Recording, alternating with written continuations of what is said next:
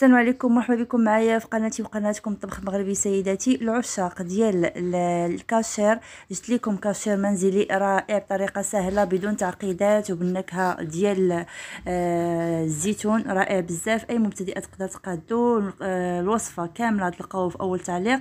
ما تنساوش تجربوا الوصفة ديالي جا رائع بزاف بزاف احسن من ديال على برا. نتمنى تجربوا وصفتي. إلى اللقاء فيديو جديد وصفة جديدة. ما تنساوش les likes وال commentaires إلى اللقاء.